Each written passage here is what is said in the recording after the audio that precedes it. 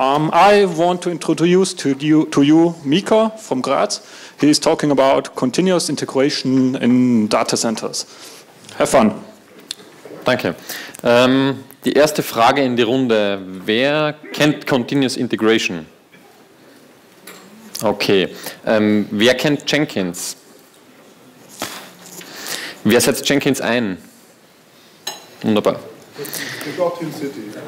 Äh, ja. Ähm, kurze Roadmap. Ähm, was werde ich erzählen? Grundsätzlich einmal eine Begriffserklärung ähm, und Gründe für CI, warum wir im Kontext vom Rechenzentrum sprechen. Ähm, ich werde ein paar Worte zum Continuous Integration Server Jenkins erzählen. Ähm, Continuous Integration mit Debian-Paketen, wie man das sinnvoll einsetzen kann im Umfeld eines Rechenzentrums auch. Weitere Beispiele für den Einsatz von CI bzw. auch Continuous Delivery im Rechenzentrum und ein paar Best Practices. welche Fehler sollte man vielleicht nicht machen? worauf sollte man aufpassen, wenn man sowas einzieht? Zur Begriffserklärung ganz kurz. Continuous Integration kommt aus dem Softwareentwicklungsumfeld, dort hat es sich etabliert, dort ist es eigentlich Common Practice. Äh, Continuous Deployment kommt aus, dem, aus der Ecke, man sagt, in dem Moment, in dem die User Acceptance Tests okay sagen, kann man das rausliefern. Und Continuous Delivery geht dann in die Richtung, man, man gibt eigentlich demjenigen die Entscheidung, der das Business tragt. Das heißt, man verschiebt die Entscheidung von einem technischen Standpunkt hin zu einem Management-Standpunkt. Und das ist eigentlich das, über das wir reden. Äh, Continuous Integration ist so der Begriff, der läufig ist.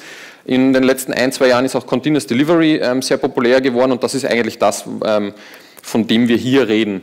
Warum Continuous Integration überhaupt und auch im Rechenzentrum? Das Problem ist, desto früher in der Pipeline man anfängt, gewisse Sachen zu beachten, desto weniger sind die Schmerzen. Also vor allem diese Wartungsschmerzen, man hat etwas im Produktionsbetrieb und niemand traut sich das angreifen.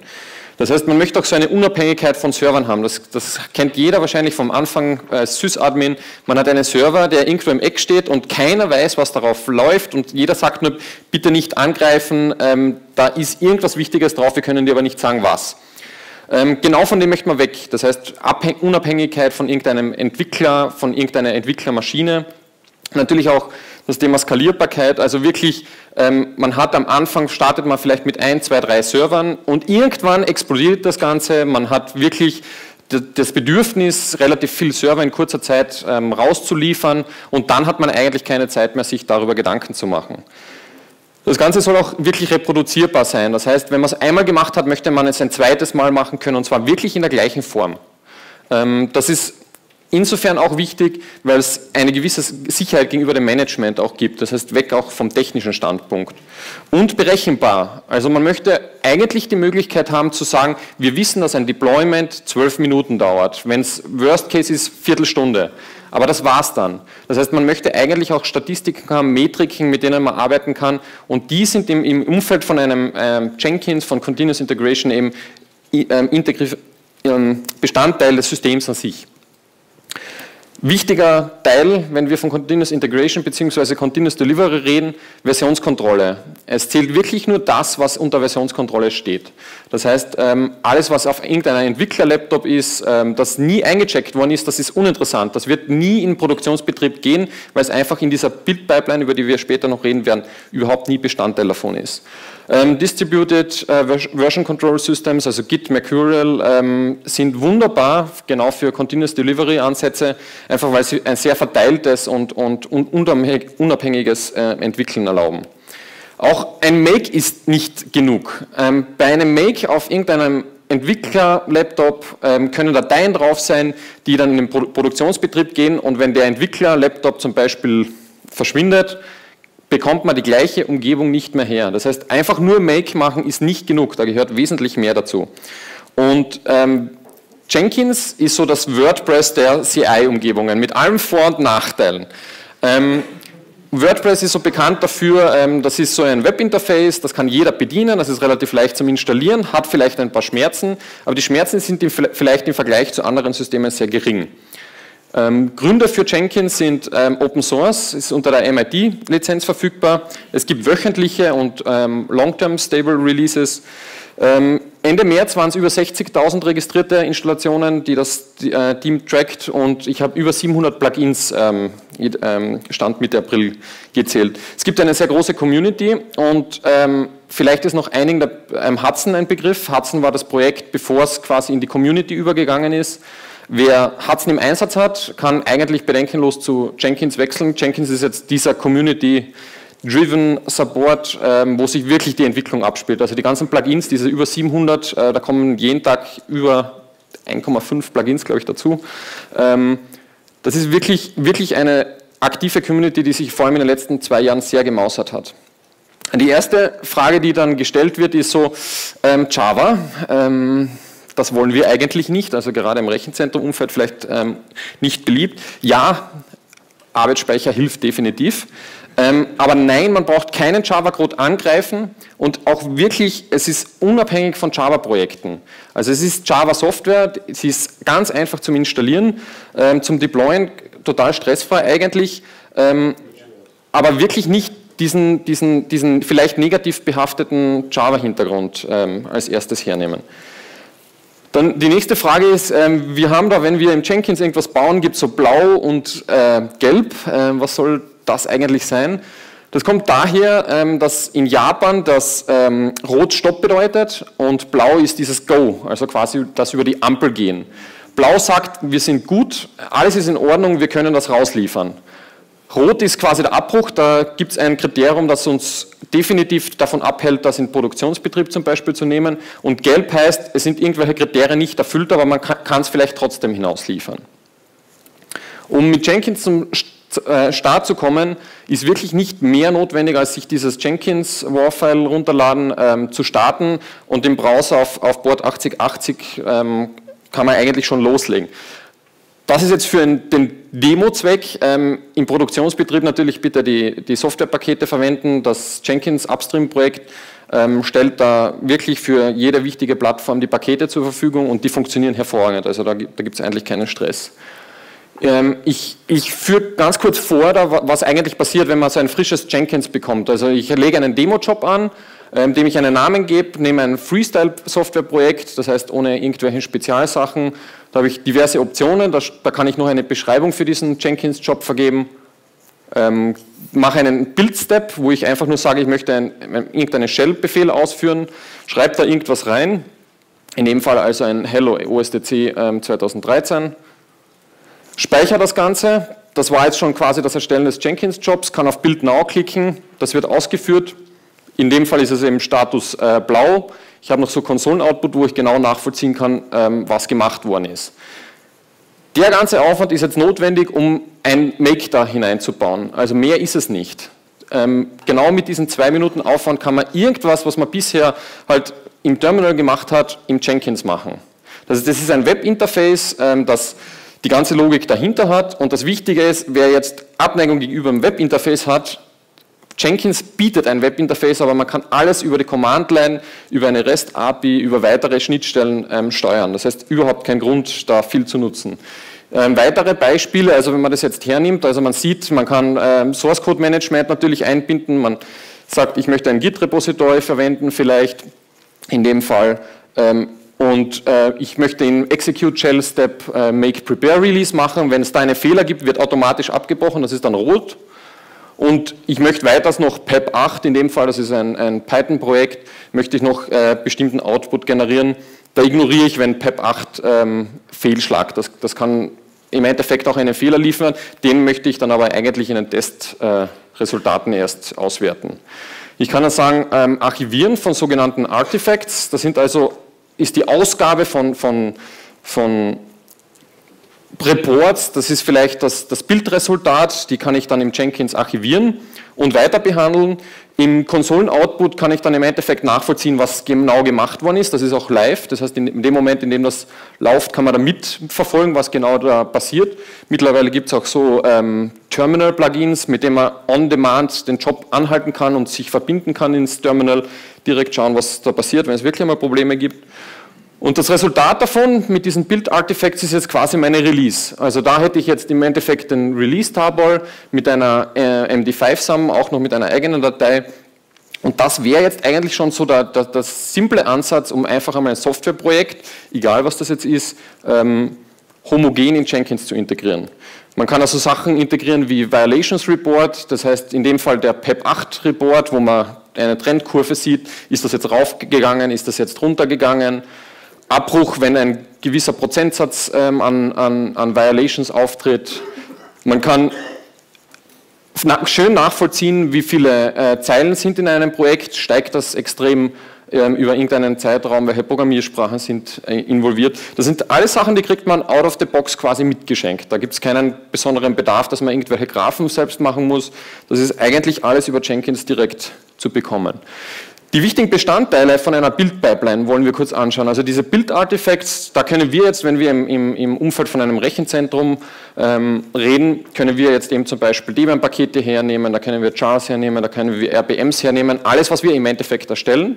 Wir können Stages definieren. Wir sagen zum Beispiel, wir haben eine Entwicklungsumgebung, wir haben eine Testumgebung, wir haben eine Production-Umgebung und in diesen drei Umgebungen gibt es eben verschiedene Requirements. Wir sagen, in der Entwicklung darf alles Mögliche kaputt sein, da können Codes ähm, verifiziert werden, die kaputt sind, Testreports können noch kaputt sein, das ist uns egal. In Testumgebung muss das alles funktionieren und alles, was in der Testumgebung funktioniert, das reichen wir weiter in die Produktionsumgebung. Wie viele Stages man da macht und wie, wie, wie man diese, Schränk, diese Schranken, diese Barrieren einbaut, das ist jedem Einzelnen überlassen. Und diese QA-Tests, da kann man wirklich sagen, ich möchte Unit-Tests machen, ich möchte Component-Tests machen, ich möchte System-Tests machen. Und die kann man natürlich jetzt passend mit den ganzen Stages ähm, vereinen. Wichtig an diesen ganzen Konzepten, die wir uns nachher noch ein bisschen näher anschauen, ist, ähm, dass man natürlich auch die Möglichkeit hat, Notifications zu vergeben. Das heißt, wenn irgendwas nicht funktioniert, dann kann man per E-Mail oder IRC oder wie auch immer, kann man diejenigen, die das eingecheckt haben, informieren. Und ähm, da gibt es eine nette Variante, ähm, was man da alternativ noch dazu machen kann. Da hat jemand ähm, mit einem USB-Raketenwerfer gebaut, ähm, Sie schauen nach, wer hat den letzten Bild quasi kaputt gemacht, wissen, wo sitzt derjenige und schießen dann in dem Moment den, den Pfeil los. Also auch das gibt es als Plugin für Jenkins. Also das muss man nicht einmal selbst bauen, das, das, ist, das ist integriert. Ähm, Im Kontext von Debian-Paketen möchte ich ähm, erwähnen, ähm, ich bin Autor von Jenkins Debian Glue. Ähm, das ist ein ein Projekt, das äh, das Ziel hat, das kontrollierte Rollout von Software. Und äh, zwar nicht nur für Softwareentwickler, sondern auch im Umfeld von einem Rechenzentrum. Äh, man muss ja nicht unbedingt Software deployen, es reicht, dass man ein Rate-Management-Tool hat, dass man in einer bestimmten Version ausrollen will. Es kann sein, dass man irgendeine bestimmte Firmware irgendwo ähm, einspielen will. Das sind alles Sachen, die kann man über Jenkins automatisieren und nachvollziehbar machen. Und ähm, man kann nicht, je, also man kann ja sagen, das beziehe ich von Debian, aber es gibt halt Software, die möchte man nicht in Debian integrieren oder kann sie gar nicht integrieren, aus lizenzrechtlichen Gründen, ähm, Intellectual Property, was auch immer. Debian Packaging hat so ein bisschen einen Ruf, dass es sehr kompliziert und komplex ist. Ähm, das ist so eine Anzahl von, von Tools, die, die, die, beim Debian Packaging ähm, vielleicht eine Rolle spielen. Die BKG, das, das, das darunterliegende ähm, Management. DepHelper in Version 8, beziehungsweise mittlerweile noch äh, neuer, ist so der State-of-the-Art-Weg, um etwas zu machen. In dem Moment, in dem man ein Make-Install irgendwie hinkriegt in der Software, ist das in Debian Packaging mittlerweile ein No-Brainer. Also da muss man wirklich keine Angst haben. Es gibt unzählige Tools, damit man Perl-Pakete baut, ähm, Ruby-Gems, was auch immer. FBM, wer, wer kennt FBM? Doch einige. Also das ist so wirklich dieser Ansatz, ich möchte die Debian-Policy nicht lösen, lesen, ich möchte nicht wissen, wie man RPM-Pakete baut, aber ich möchte das irgendwie distributen. Ähm, da hilft FBM weiter. Es gibt für je nach Versionskontrollsystem unzählige Build-Package-Skripte, die da weiterhelfen, wie man, wie man das kontrolliert rausbaut aus der Versionskontrolle. Co-Bilder, P-Bilder, S-Bild, das sind so Bildumgebungen, um sicherzustellen, dass man die Software, die man jetzt eigentlich kompiliert, die man jetzt baut, in einer sauberen Umgebung behandelt. Und das, was man da gebaut hat, das geht, geht am Schluss in RepRepo, in Dark, in, in was auch immer, da gibt es unzählige ähm, Repository-Systeme. Ähm, und Jenkins Debian Glue hat sich jetzt genau das zum Ziel gesetzt oder der, der Wunsch gekommen, das möchte man auch für Nicht-Debian-Entwickler ähm, betreibbar haben. Das heißt, diese Einstiegshürde ist oft, wie kriege ich ein Debian-Paket kontrolliert gebaut, ohne dass ich all dieses Spezialwissen habe. Das abstrahiert also RepRepo oder auf Wunsch auch äh, Fried ähm, auch Kaubilder, das abstrahiert das alles weg. Da muss man sich nicht drum kümmern, das wird alles automatisch ausgerollt. Out of the box wird Subversion und Git unterstützt. Das heißt, wenn die Software, die man ausrollen will, ähm, dort verfügbar ist, kann man das im Endeffekt mit, mit ganz wenig Aufwand äh, machen. Es ist vorwiegend Shell, das sage ich deswegen, weil ähm, es gibt einige Projekte, die haben Jenkins Debian Glue im Einsatz, aber leicht customized und der Aufwand, das zu adaptieren, ist sehr gering. Also das kann wirklich jeder lesen, was da drinnen passiert. Es ist leicht zum Adaptieren und ähm, da gibt es also keine dieses Problem da, welche, welche Skriptsprache nehme ich in dem Fall. Also es, es gibt ein paar Perl, äh, Ruby und, und äh, Python-Skripte, die drunter stecken für spezielle Sachen. Das ist aber meistens dann, weil es äh, für genau diesen Ansatz wichtig ist. Jenkins Debian Glue ist im Praxiseinsatz unter anderem im Grimmel-Projekt. Wer kennt den Grimmel? Oh, nicht schlecht. Ähm, ich bin im Grimmel-Projekt aktiv und wir bauen dort nicht nur Debian-Pakete raus, sondern wir bauen dort auch unsere ISOs raus. Das heißt, in Jenkins kommen unsere Daily-ISOs raus, das heißt, bei uns gibt es für alle äh, Flavors, die wir für Grimmel haben, jeden Tag ISOs und wir machen auch die offiziellen Re ähm, Releases daraus. Mittlerweile verwendet auch das Postgres äh, Projekt äh, Jenkins Debian Glue. Äh, Isinga hat es im Einsatz und ähm, vor kurzem war von, von dem Betreiber von LLVM, äh, Upstream Debian Ubuntu-Pakete, ein Blogpost auf äh, Debian Planet, der verwendet eben auch Jenkins Debian Glue und das sind so Projekte, die haben relativ viel Schwung reingebracht. Wir möchten ganz kurz anschauen, wie Jenkins Debian Glue funktioniert. Bei Debian muss man wissen, es gibt diese Source-Pakete, so wie es auch Source-RPMs gibt. Die baut man genau einmal. Man möchte genau die Version ein einziges Mal vorliegend haben. Das heißt, man braucht auch wirklich nur, wenn man, wenn man dieses in Git zum Beispiel hat, baue ich das ein einziges Mal heraus und behandle das weiter, und zwar in den Binärpaketen. Die baue ich dann pro Architektur. Das heißt, wenn ich mehrere Architekturen unterstützen möchte und zum Beispiel was Architekturspezifisches habe in meinem Code, da ist das wichtig, dass ich das aus einem Source äh, mehrmals für die, für die Architekturen rausbaue. Genau diese Logik hat auch äh, Jenkins Debian Glue drinnen. Das heißt, es unterscheidet zwischen diesen Source-Paketen, diesen Binary-Paketen und weiß auch, wenn es ein Architecture-All-Paket ähm, ist, das heißt eines, das nicht spezifisch nur auf einer Plattform funktioniert, baut es auch nur einmal. Wir haben dann noch die, den, dieses Konzept der Repositories. Ähm, standardmäßig werden Reprepo und Thread ähm, unterstützt. Es gibt standardmäßig für jedes Projekt ein eigenes Repository. Das heißt, wenn man jetzt irgendeine Software hat, die man komplett unabhängig von anderen verwenden will, kann man genau dieses eine Repository einbinden via etc apt sources list und kann das installieren, in jeder beliebigen Version dann äh, ausrollen. Es gibt Release-Repositories und Trunk-Releases, ähm, wo man einfach den Ansatz hat, man möchte jetzt mehrere solche Projekte in einem vereinen. Das heißt, niemand zwingt einen, dass man jetzt dann 100 äh, Repositories für 100 verschiedene Projekte hat, aber das ist ein Gratis-Feature quasi. Und man muss sich mit diesem Repository-Management überhaupt nicht beschäftigen. Das heißt, das wird alles automatisch gehandhabt im Hintergrund. Man kann dann auch ähm, automatisch äh, signieren lassen, denn das Repository, da braucht man im Endeffekt nur einmal einen GPG-Key installieren und das war's. Was äh, wichtig ist, wir wollen da natürlich auch diese ganzen QA-Tests integriert haben. Das heißt, wir möchten schauen, ist das Paket selbst in Ordnung? Lintian ist ein hervorragendes Tool aus, aus äh, der Debian-Ecke, das schaut, ist dieses Paket sinnvoll, gibt es da irgendwelche ähm, Fehler drinnen, die häufig begangen werden. Auto-Package-Test ist ähm, aus der Ubuntu-Ecke, das ermöglicht, dass man quasi in Debian-Tests einfache Testskripte ähm, hineintut. Das kann sein, ähm, es gibt bei Postgres gibt's, ähm, Skripte, die schauen, funktioniert dieser Postgres-Cluster bzw. dieser Postgres-Server überhaupt so, wie wir es uns vorstellen. Da kann man alles machen in einer definierten Umgebung, komplett stressfrei, weil die wird wieder danach zerstört, weggeworfen. Wenn es Probleme gegeben hat, wird automatisch abgebrochen. Buparts ist ähm, der Test, um zu schauen, kann ich die Software überhaupt installieren? Kann ich die von der letzten verfügbaren Version im Repository auf die aktuellste upgraden? Und kann ich die Software auch wieder deinstallieren? Das sind Sachen, die werden gerade, wenn man mit Paketen arbeitet, mit, mit Betriebssystempaketen, gern übersehen. Ich kann die Software zwar installieren, aber ich bringe die nicht mehr runter. Das kann aber durchaus notwendig sein, wenn man zum Beispiel Pakete hat, die ähm, neue Paketnamen haben und man macht ein Postgres ähm, 9.0 auf 9.1 Upgrade als Beispiel. Ähm, man kann Code Policies durchsetzen. Äh, Perl Critics ist hervorragend, Jack Beschissen äh, macht, macht ein paar triviale Sachen. Das ist alles fixfertig als Bestandteil von Jenkins Debian Glue. Das heißt, man kann gewisse Sachen auch aus, aus, aus, aus statischer Code-Analyse heraus direkt betrachten. Und das Resultat bekommt man als Tab oder JUnit Output. Schauen wir uns nachher an, wie das ausschaut.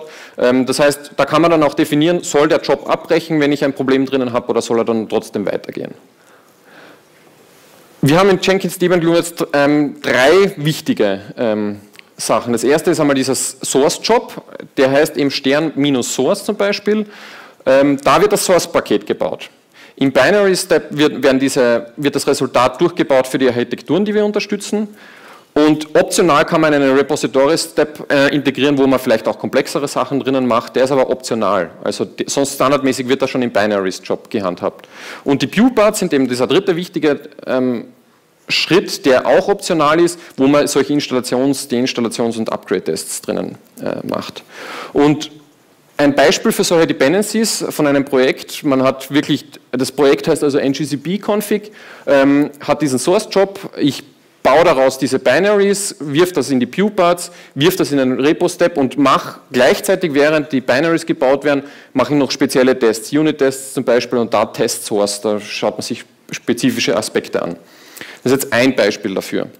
Ein weiteres Beispiel wäre, ähm, dass ich sage, ich steige über die Unit-Tests ein. Wenn die Unit-Tests funktionieren, wenn alles in Ordnung ist, wenn ich sage, das ist für mich ähm, aus der Sicht release-reif, dann gehe ich erst zum Debian-Paket-Schritt. Äh, das heißt, dann fange ich erst das Source-Paket zum Bauen an, mache mach wieder meine gleichen Schritte. In dem Fall sage ich also, ähm, da habe ich mehrere Möglichkeiten, wie ich das baue, zum Beispiel einschränke, ich möchte das auf dem Cloud-Builder-Host bauen und nur für AMD 64 und schiebe das dann wieder weiter in der Queue. Das sind nur zwei Beispiele, wie man das machen kann. Das sind sogenannte Upstream- und Downstream-Jobs, die man miteinander in Korrelation, in ein Verhältnis stellen kann. Und im Endeffekt ist das nicht viel Aufwand, dass man mehrere Jobs abhängig davon vom Resultat des vorigen hintereinander schaltet.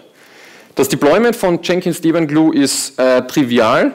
Es gibt die automatische Variante und die manuelle Variante. Ähm, es ist auf der Homepage dokumentiert. Ähm, wer das nicht auf irgendeinem speziellen Rechner testen will, das geht auch auf EC2. Ähm, es ist wirklich in unter 15 Minuten installiert. Also es gibt ein Puppet-Rezept, das im Endeffekt alles Wichtige macht, dass Jenkins auf dem Debian oder Ubuntu-System quasi ausgerollt wird. Und wenn man das gemacht hat, schaut es im Endeffekt so aus. Da hat man dann drei Jobs definiert. Das heißt, das ist so eine sich selbst hostende Plattform dann, da hat man dann Jenkins Debian Glue ähm, sich selbst gebaut, beziehungsweise man kann es mit dem Source-Job ähm, starten, dann wird der Binaries-Job angeworfen und am Schluss wird äh, Pewparts noch ausgeführt. Und das war's. Also mehr muss man wirklich nicht machen. Das ist in unter 15 Minuten erledigt. Ähm,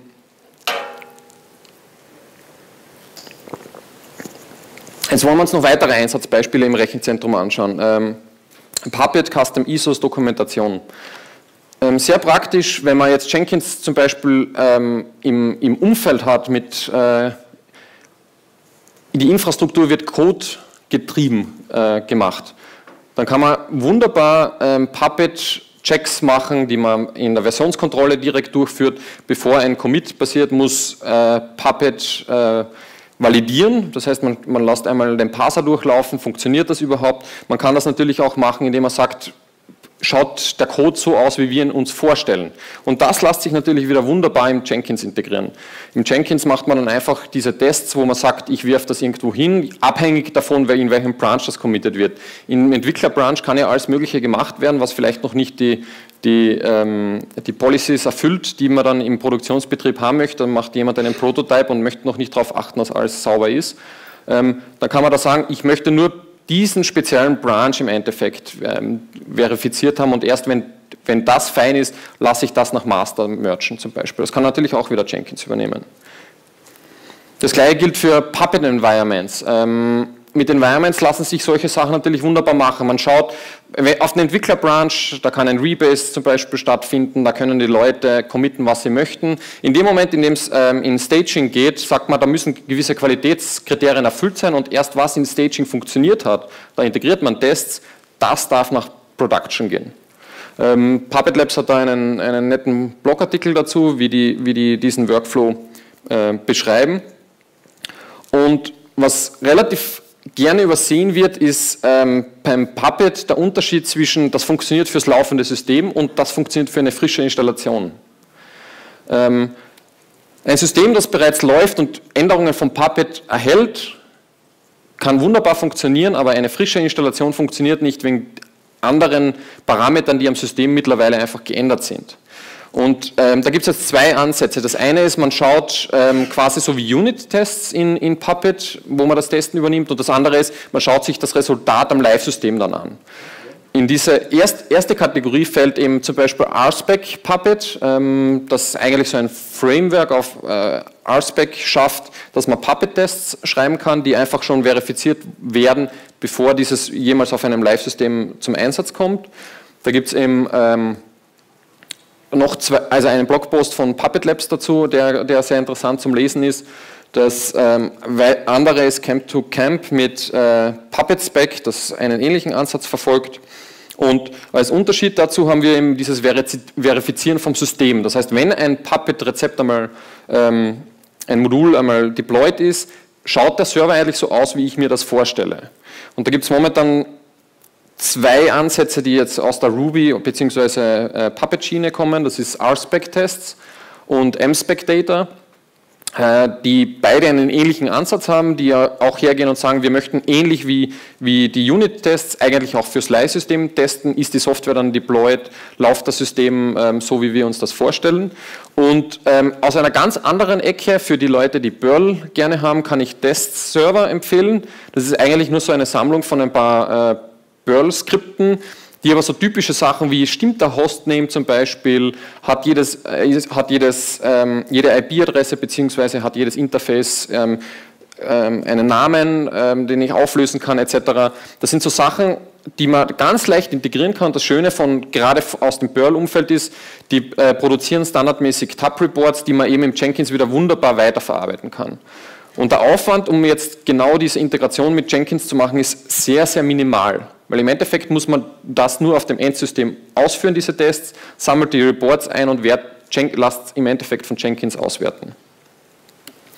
Ein weiterer Ansatz, ähm, den ich im Rechenzentrum ähm, häufig habe, ist, ähm, dass man Grimmel-ISOs customized. Ähm, das geht sehr einfach und ist leider nicht allzu bekannt, deswegen möchte ich das erwähnen. Im Grimmel Live, das ist das ähm, Projekt quasi aus Grimmel, das die Grimmel-ISOs baut, das hat sogenannte Templates und die kann man anpassen und mit Grimmel to ISO kann man diese angepassten Templates überschreiben im ISO. Das heißt, man muss nie ein ISO remastern, man kann das von Upstream nehmen, von uns, ähm, passt die Templates an, wo man sagt, ich möchte spezielle Boot-Optionen standardmäßig drinnen haben, ähm, sei es, dass man keinen äh, Frame-Buffer haben will, sei es, dass man äh, die Netzwerkkonfiguration speziell machen möchte oder auch so ein Netzskript, also wo man im Endeffekt ein beliebiges Skript von, von HTTP, Samba, was auch immer, äh, beziehen kann, äh, das dann automatisch während dem Bootvorgang ausgeführt wird.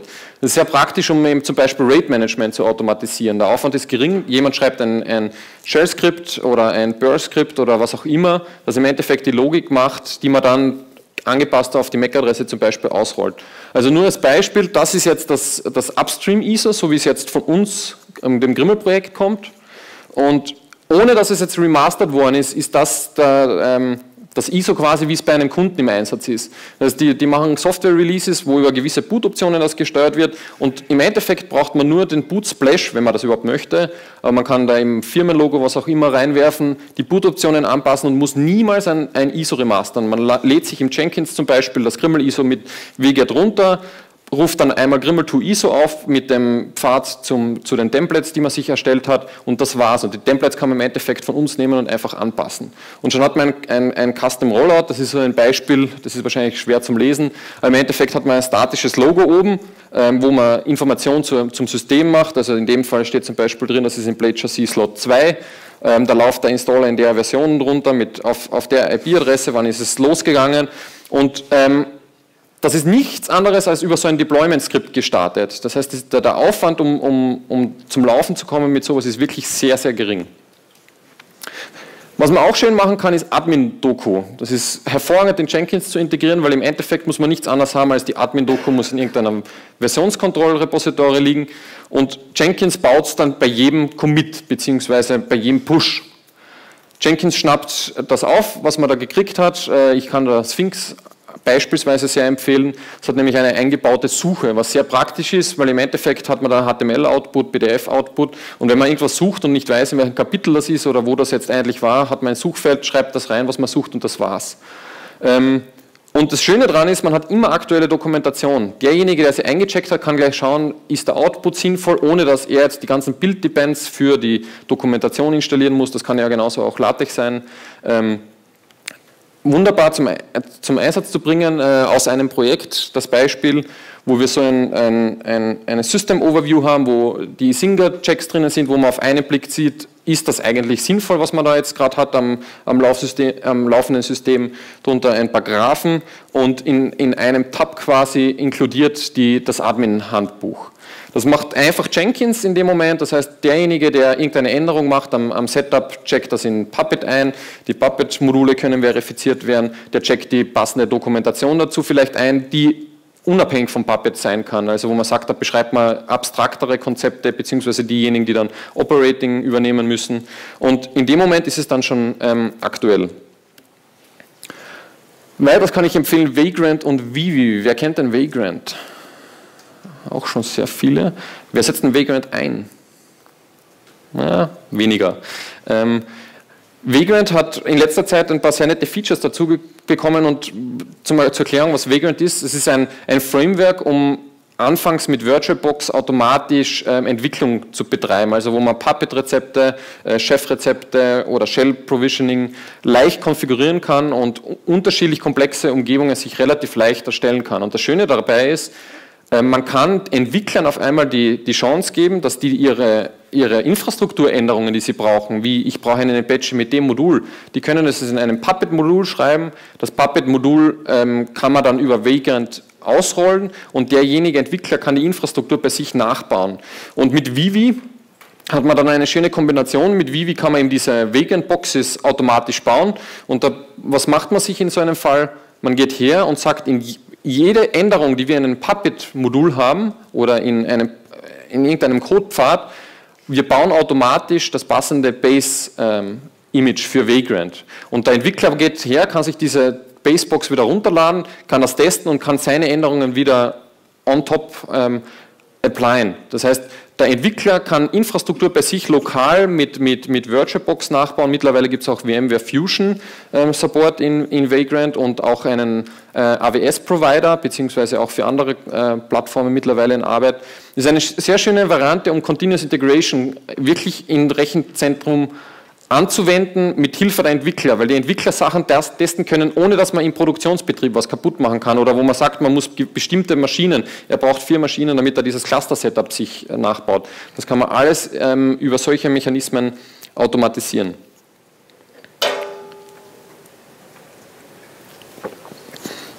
So, ich habe gesagt, ich möchte ein paar Best Practices erzählen, weil ähm, wenn man solche, solche Projekte angeht, dann hat man natürlich Schmerzen. Also es ist auch nicht so, dass ähm, Jenkins jetzt äh, 100% ähm, glücklich macht. Es gibt ähm, definitiv Ecken und Kanten. Wie fängt man am besten an damit, wenn man jetzt sagt, das gefällt mir ganz gut, das klingt so wie, das, das könnte ich sinnvoll einsetzen? Automatisieren, was weh tut. Nicht mit dem anfangen, was am besten ausschaut oder wo man sagt, das, das könnte am coolsten sein, sondern das, was am meisten schmerzt. Wenn man zum Beispiel Umgebungen hat, wo man Software für, für mehrere Architekturen, für mehrere Distributionen etc. kompilieren muss, dann muss man mit dem anfangen, was dabei am meisten wehtut, wo man sagt, ich hab, bin von einer eigenen Box abhängig, die brauche ich immer zur Verfügung, wenn ich unterwegs bin, kann ich nicht auf die zugreifen etc. Ähm, das sind genau die Sachen, da fängt man an, dann zu optimieren, beziehungsweise einfach einmal mit Jenkins zu spielen. Ich kann das Timestamper-Plugin schwer empfehlen, weil ein klassisches Problem ist so, warum dauert der Jenkins-Job so lange? Und man sieht den Konsolen-Output, aber weiß nicht, was hat eigentlich so lange gedauert dabei. Ähm, das ist leider nicht standardmäßig ähm, installiert ähm, im Jenkins-Deployment. Das ist aber ganz leicht zu installieren und mit dem kriegt man eben genau auf der linken Seite sichtbar diese Timestamps, dass man nachvollziehen kann, wo hat denn eigentlich ein, ein Build-Step im Jenkins lang gedauert für mich. Genauso empfehlenswert ist dieses Test Anything Protokoll. das, das JUnit erfüllt nicht alle Anforderungen. Gerade wenn man jetzt aus der Perl-Richtung kommt, ähm, kriegt man auch JUnit-Output vielleicht nicht so hin, wie man es haben möchte. Das ist ein Plugin und mit, sobald man das installiert hat, kann man die Reports, so wie man sie sonst für JUnit kennt, auch für Tab integrieren. Also sollte jemand ähm, Tab-Reports bevorzugen gegenüber JUnit-Plugins, bitte einfach nur das Plugin installieren und das funktioniert genauso. Erwähnenswert ist auch das Bruce Schneier-Plugin. Ähm, äh, da gibt es mehrere solche in der Richtung, die im Endeffekt nichts anderes machen, als die bringen ein bisschen Fun rein in, in, in Jenkins. Äh, das Nette ist, dass Entwickler dann gerne das Webinterface lieber haben zum Anschauen, wenn solche Kleinigkeiten drin sind wie Works on my machine oder ähm, eben solche Knows Alice and Bob's Shared Secret äh, Stories. Ist, äh, ist nur natürlich eine Kleinigkeit. Viel wichtiger ist Discard Old Builds. Wer ähm, Probleme hat mit der Performance, Disk Usage, Jenkins haltet standardmäßig alle Builds auf, beziehungsweise das, was man als, als Bild ähm, Output, als, als Artifact speichert, wird standardmäßig mitgespeichert, auch die ganzen Bildvorgänge selbst werden nicht weggeworfen und ähm, wenn der Workspace schnell groß wird, wenn, wenn die Performance von Jenkins ähm, immer schlechter wird, sollte man sich Gedanken darüber machen, wie viele Builds braucht man eigentlich wirklich. Also es gibt die Möglichkeit zu sagen, ich behalte sie von gewissen Anzahl an Tagen, ich behalte eine bestimmte Anzahl an Builds, aber gerade für, für, ähm, für Builds, die man standardmäßig nach ein paar Wochen nicht mehr braucht, die kann man guten Gewissens beseitigen, beziehungsweise es gibt die Möglichkeit, nur als Disclaimer, man kann Builds als ähm, Keep Build Forever markieren. Das heißt, wenn man sagt, den möchte ich aber immer haben, den möchte ich nie wegwerfen, kann man das einfach mit, mit einem Klick im Webinterface, beziehungsweise natürlich auch über die Command-Line gesteuert, ähm, erreichen.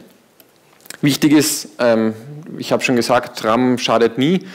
Schnelle Hardware nutzen. Es ist schade, wenn, wenn Jenkins nur deswegen nicht genutzt wird, weil er vielleicht nicht ganz so schnell ist oder die Umgebung nicht ganz so schnell ist, wie man es haben möchte.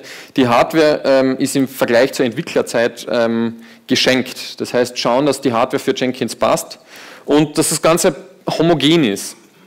Ähm, die, die, Änderungen, die man bei Jenkins-Jobs macht, wenn man jetzt sagt, man hat wirklich für jedes Projekt einen, einen Jenkins-Job oder vielleicht mehrere, dann hat man in diesen Build-Steps dann meistens Code drinnen.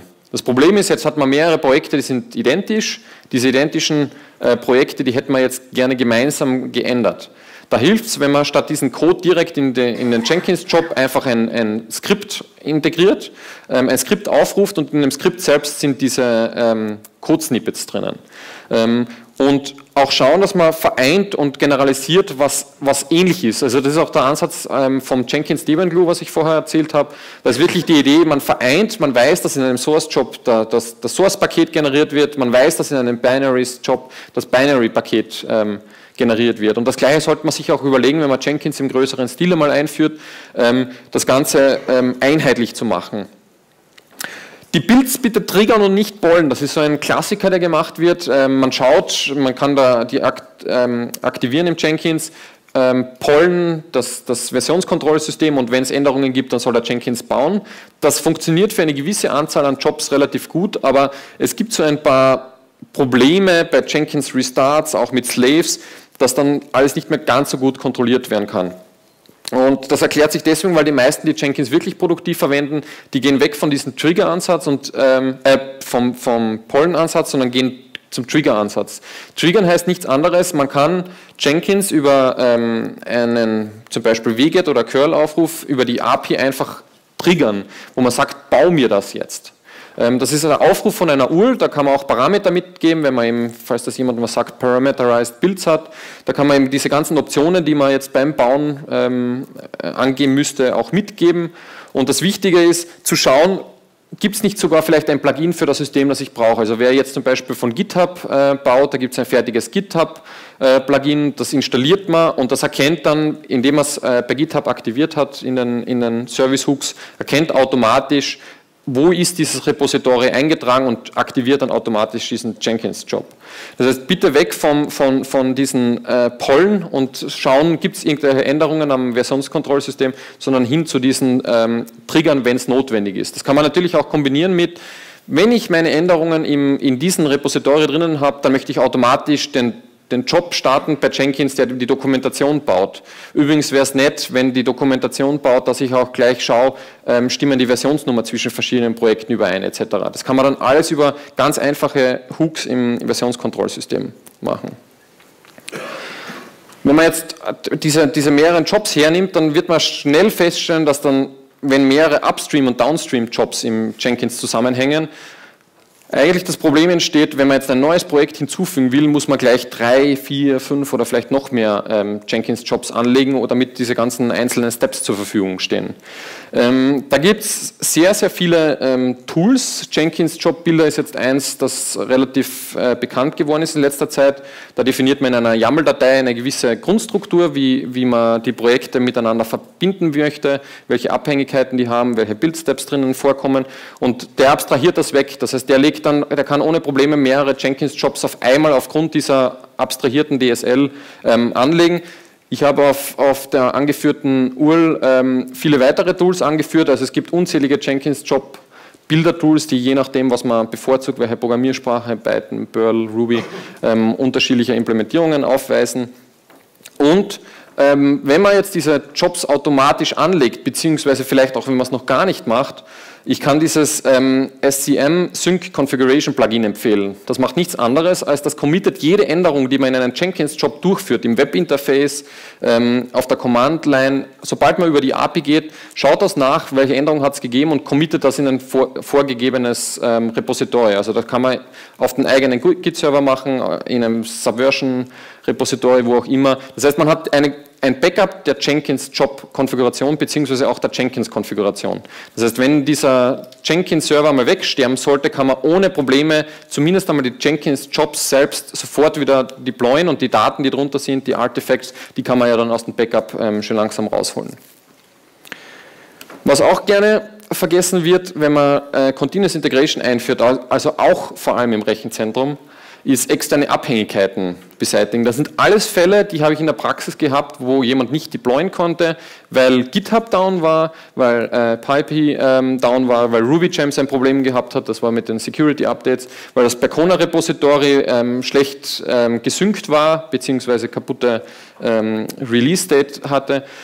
Da ist wichtig, schauen, dass man das lokal nachbildet einen, einen, einen lokalen Mirror nachziehen, schauen, dass man nicht nur die Repositories bei GitHub hat, sondern vielleicht eine Kopie einfach gespiegelt fahrt lokal auf den eigenen Git-Server und bei GitHub liegt, ein, liegt einfach nur ein Mirror, der mit git push minus Mirror gemacht wird. Also da ist wirklich, wirklich wichtig, schauen, wo habe ich externe Abhängigkeiten, was passiert in meiner Umgebung, in meiner Continuous Integration, Continuous Delivery Umgebung, sollte GitHub down sein. Da gibt es unzählige Aufschreie dann immer auf, auf Twitter und Co., wo die Leute sagen, ich kann nicht deployen, weil GitHub ist down. Der Ansatz von Continuous Integration war aber eigentlich ein anderer. Man ist unabhängig von, von, von einzelnen Maschinen und da gehört natürlich auch ähm, Infrastruktur wie GitHub dazu. Das heißt, wirklich schauen, weg, weg von externen Abhängigkeiten. Um, there are only two hard problems in computer science, cache invalidation, naming things and off-by-one errors. Und naming things ist wirklich, wirklich wichtig, wenn man Jenkins verwendet, beziehungsweise Jenkins im größeren Stil wieder verwendet. Irgendwann hat man Jobs, wo man nicht mehr weiß, was machen die eigentlich. Kann ich den löschen? Kann ich den beseitigen? Wie wichtig ist der? Der ist auf Rot. Muss sich da jemand drum kümmern? Muss ich da jemanden treten? Das heißt, da ist wirklich wichtig, sich ein, ein, ein Schema zu überlegen, wie sollten eigentlich die Jenkins-Jobs bei mir heißen. Habe ich da vielleicht Hardware-Namen, die ich dafür verwenden kann? Habe ich da vielleicht Programmiersprache, die ich da irgendwie einbinden kann? Habe ich da irgendwelche Branches, die ich im, im Jenkins-Job verwenden kann, damit ich schneller drauf komme? Also da ist wirklich wichtig, irgendein Schema herausfinden für den Anwendungsfall und das auch konsequent durchziehen. Ähm, auch wichtig, also wer, wer mal von diesem Jenkins Master Ansatz weg ist, also Jenkins Master Slave, äh, falls das jemandem kein Begriff ist, äh, man kann nicht nur einen Jenkins Server betreiben, sondern man kann auch mehrere Jenkins Slaves integrieren, dass man im Endeffekt ähm, über mehrere Mechanismen automatisieren kann auch, dass man sagt, man hat einen Master, das, der ist die Kontrollinstanz und bauen lasse ich dann aber auf Jenkins Slaves. Und das sind dann die Billing Nodes. Da kann ich dann beliebig viele haben, die können dann auch in unterschiedliche Umgebungen laufen. Das heißt, dass manche lokal laufen, manche ähm, in VMs auf anderen Rechnern, manche vielleicht ähm, in der Cloud. Ähm, das Wichtige ist, den Jenkins Master, so, sofern es irgendwie geht und die, die Umgebung zulässt, als Kontrollinstanz verwenden, am Jenkins Master selbst nichts bauen. Das ist Load, die dann im Endeffekt ein paar Mechanismen von, von Jenkins verändert und indem man sicherstellt, dass man auf relativ konstanten Maschinen baut und auch zuweist, wo wird was gebaut, ähm, sind auch die Bildgrafen auf einmal viel interessanter. Und da ist wirklich wichtig, im Hinterkopf behalten, Jenkins Master ist die Kontrollinstanz, da hat man die Jenkins-Jobs liegen, da werden die Sachen wieder gesammelt, da wird die ganze Information von Jenkins verwaltet und gebaut, alles, was man im Endeffekt mit Rechenzeit ähm, zu tun hat, ähm, die Last verringern und einfach auf einen Slave gehen. Sehr hilfreich sind auch äh, Dashboards. Ähm, viele sagen, ja, ich habe so viel Output in Jenkins, ich werde erschlagen von, von Informationen oder weiß gar nicht, was muss ich jetzt eigentlich machen. Da hilft es, je nachdem, wo die Schmerzen eigentlich liegen, verschiedene Mechanismen zu verwenden. Es kann sein, dass jemand nur sagt, ich brauche eigentlich nur eine interessante View auf mein Repository, wo meine Softwarepakete liegen, sei es jetzt äh, Debian oder RPM oder was auch immer. Man kann eine View auf den Bildstatus machen. Man sagt, für die Entwickler aus, aus dem Projekt oder die, die Operation-Leute ähm, sind andere Sachen wichtig. Da mache ich ein Dashboard, wo genau der Status angezeigt wird, wie ist der Bildstatus für Jenkins, für die Projekte, die mich interessieren. Das heißt, weg von diesen, ich muss ins Jenkins schauen und, und, und äh, herausfinden, was ist für mich eigentlich interessant. Und auch Frontend fürs Steuern von Jenkins bauen. Jenkins lässt sich wirklich über, über mehrere APIs steuern und da kann man schön abstrahieren im Endeffekt über, über Sinatra, über äh, Flask, was auch immer. Das ist schnell gemacht, das, das schreiben auch ähm, ähm, Leute relativ schnell, die den Jenkins auch gar nicht kennen, die wissen, die müssen eine URL aufrufen und das war's. Da kann man sich wirklich abstrahieren von Jenkins und unabhängig machen.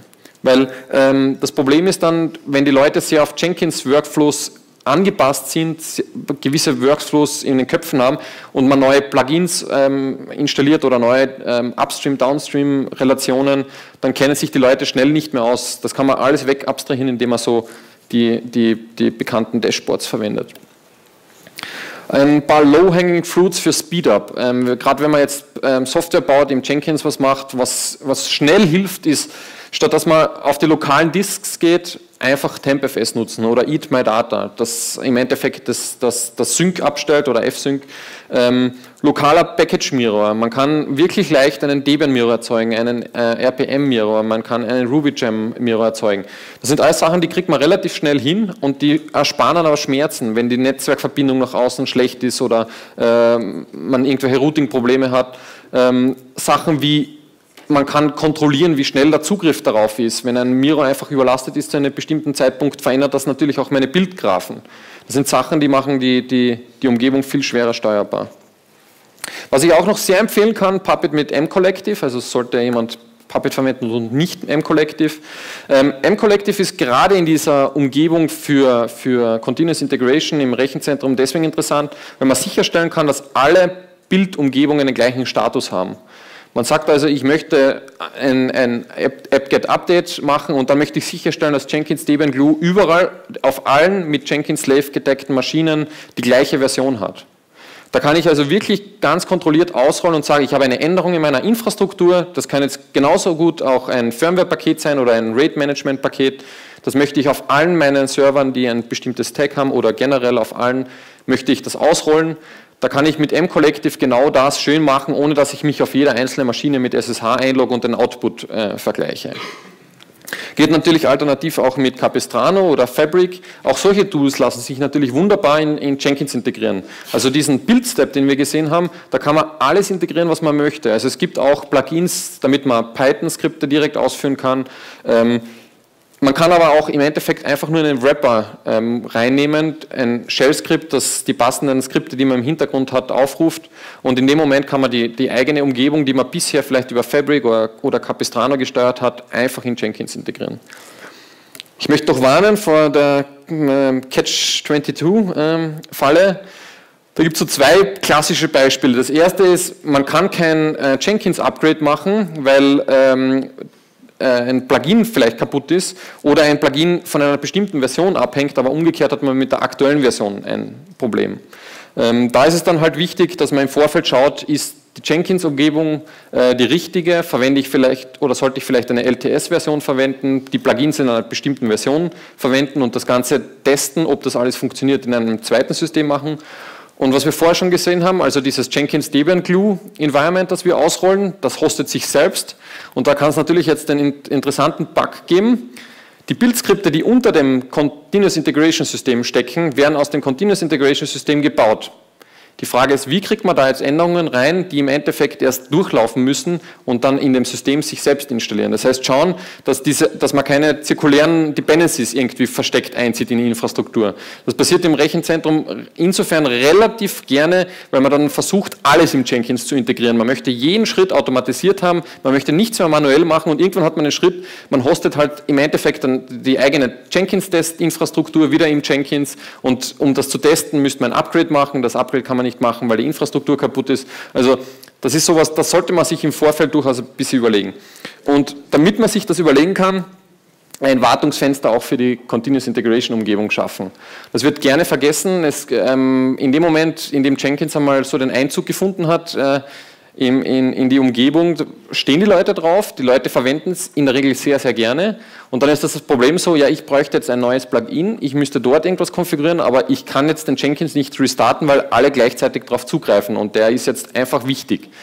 Da ist es dann wirklich essentiell, dass man eine Testumgebung schafft, wo man gewisse Sachen ausprobieren kann, bevor man produktiv geht und auch wirklich ein Wartungsfenster ankündigt. Also wirklich nicht darauf vergessen, dass auch eine Continuous Integration Lösung, die im Endeffekt sich, sich ständig am, am aktuellen Stand erhält, ähm, auch ein, eine Wartungszeit zur Verfügung bekommt. So, als kurze Wiederholung, äh, bitte keine Angst vor Jenkins. Ähm, wer Jenkins ähm, in der Softwareentwicklung vielleicht eh schon einsetzt, der hat einen kleinen Schritt überhaupt nur ähm, auch ins Rechenzentrum damit zu gehen, also sei es jetzt Puppet oder Chef, da gibt es wunderbare Tools, mit denen man das verknüpfen kann. Ähm, Jenkins lässt sich wirklich leicht integrieren, ähm, gerade dank dem Webinterface und wenn man dann genug hat vom Webinterface oder das Ganze dann über die Command-Line mehr machen möchte, gibt es genug Tools. Wichtig Automatisierung. Diese ganzen Schritte, die wir für Firmware-Rollout haben, für Rate-Management, für die Installation von Systemen, für das Bauen von, von Virtual Machines, da haben wir Paketmanagement, wir haben Konfigurationsmanagementsysteme und das kann man alles wunderbar integrieren, gerade in Jenkins, ähm, zu, zu keinen Lizenzkosten. Ähm, manuelles SSH ist so ein, ein Pattern, das irgendwas relativ schlecht funktioniert in der Umgebung. Ähm, schauen, dass man Fabric, M-Collective, was auch immer verwendet und das Ganze so automatisierbar macht, dass das im Endeffekt weg abstrahiert ist von irgendeinem speziellen SSH-Login, von irgendwelchen speziellen Permissions. Das kann man alles über den Jenkins ähm, äh, machen. Tests schreiben.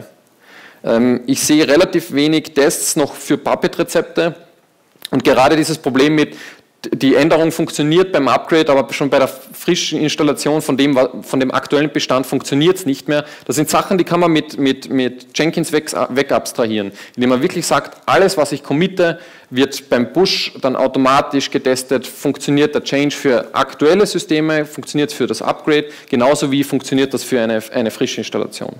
Und Dashboards nutzen. Wer wirklich das Problem hat, dass Jenkins nur deswegen nicht angenommen wird, weil jemand das, die, die, den Output nicht mag, äh, überwältigt ist von den, von den ganzen Jobs, von den ganzen Optionen, von den ganzen Testreports, weg davon und schauen, dass man das einfach auf das ähm, Essentielle beschränkt. Gibt es Fragen?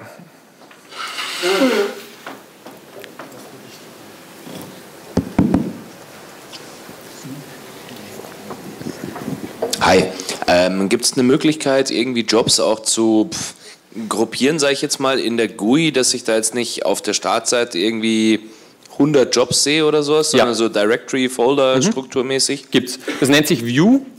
Die kannst du einfach hinzufügen. Das ist dann im Endeffekt wie ein, ein Untertab, dem du irgendeinen Namen gibst und da kannst du entweder nach Regex oder nach Bildstatus sortieren. Da gibt es ja unzählige Plugins ähm, dafür, die im ähm, Radiator ist zum Beispiel so ein, so ein Schlagwort, ähm, unter dem du relativ viel findest, die dann auch zum Beispiel wirklich so ein Dashboard bauen, wo, wo du dann im Endeffekt von einer Gruppe ähm, die, die einzelnen Jobs sortiert hast und als Beispiel nur die, die fehlgeschlagenen angezeigt kriegst oder dann Grün- und Rot-Abstraktion. Ähm, aber sonst dieses ganz normale View, die kannst du ganz, ganz normal im Jenkins einfach hinzufügen. Die kannst natürlich dann nach, nach Gruppen Operations oder, oder Unit-Tests oder was auch immer also, äh, gruppieren. Überhaupt kein Problem. Mhm. Weitere Fragen?